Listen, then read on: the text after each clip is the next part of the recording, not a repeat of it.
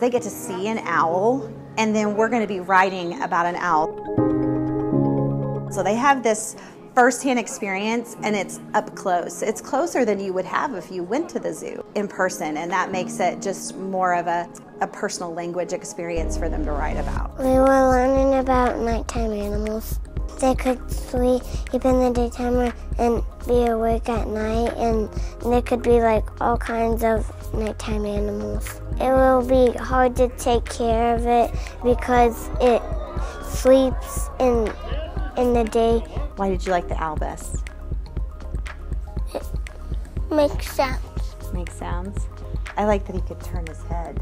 Did you think that was neat?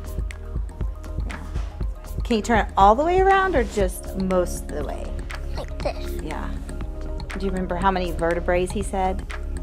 Um, We have seven and owls have, two, no, one. 14.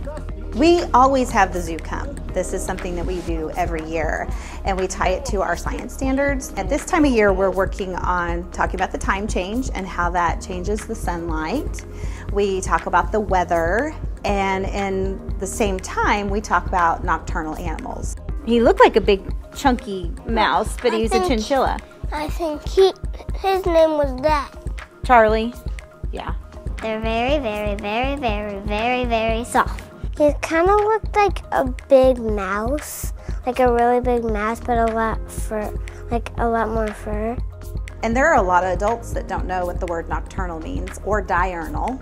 Diurnal means that you're awake during the day, and nocturnal is awake at night. And here's kindergartners using language that they wouldn't have used before, and it's they're going to remember it because of the visitor.